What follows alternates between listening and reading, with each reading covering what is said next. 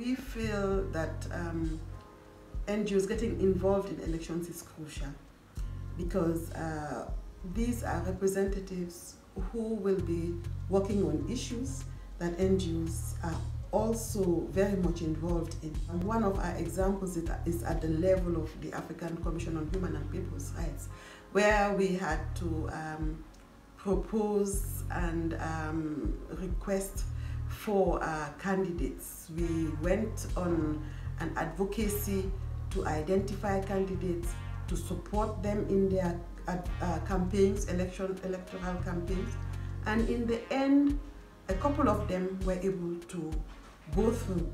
What is also exciting is the fact that NGOs, once they get involved in the elections, see it as an avenue for them to continue supporting the work of the country that has been elected. They feel that it's good for them to also support the mandate as it goes along.